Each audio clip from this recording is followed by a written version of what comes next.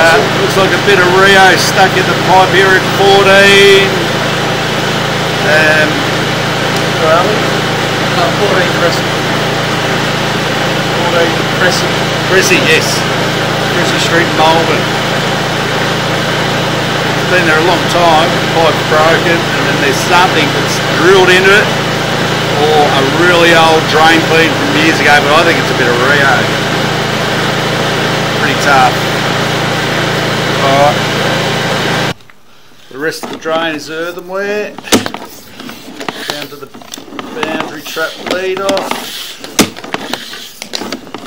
We'll check around the BT, just make sure that's 100%.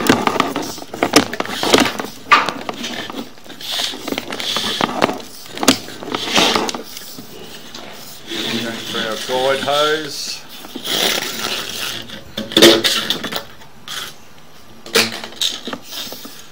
PVC boundary trap, which is great.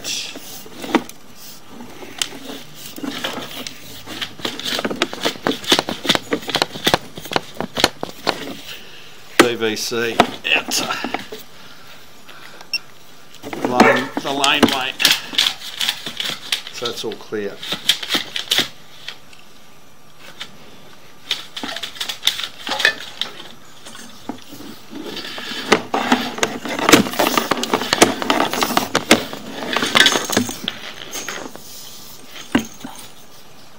From the BT here.